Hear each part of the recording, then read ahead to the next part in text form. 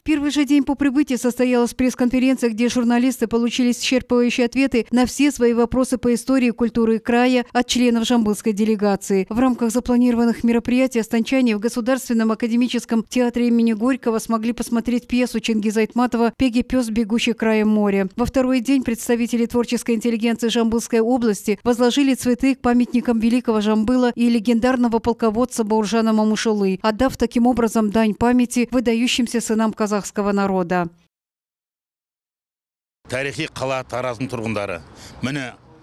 Вот сегодня проходят Дни культуры в сердце Казахстана Астане. Я этому очень рад. Каждая страна гордится своими акынами, учеными, героями и городами. Передаю большой привет и желаю счастья.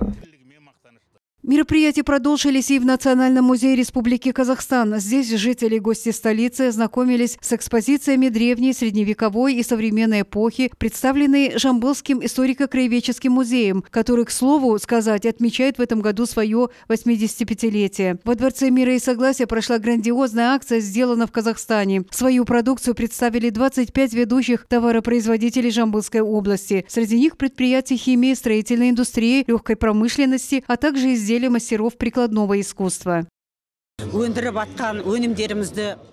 То, что мы производим, мы решили показать это нашему народу, нашей стране. У всех производителей Казахстана очень качественные товары, ничем не хуже производителей других стран.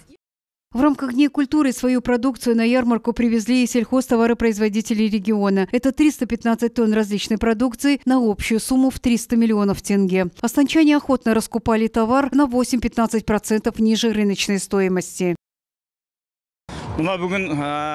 Сегодня ярмарка товаропроизводителей Жамбылской области очень прекрасно проходит. Вот купили яблоки, фрукты, мясо по низкой цене. Так как сказали, что ярмарка приехала с Жамбылской области, нам сразу стало интересно.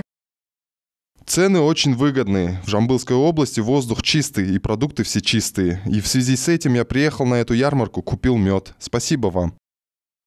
Торжественные мероприятия завершились большим гала-концертом Ула Дала Уласым во Дворце мира и согласия. Участие в нем приняли признанные мастера культуры и искусства, коллективы художественной самодеятельности древнего Тараза. Насладиться искусством своих земляков пришло немало депутатов, представителей других профессий. Дни культуры Жамбылской области прошли на высоком организационном уровне и доставили немало удовольствия и наслаждения астанчанам и гостям столицы.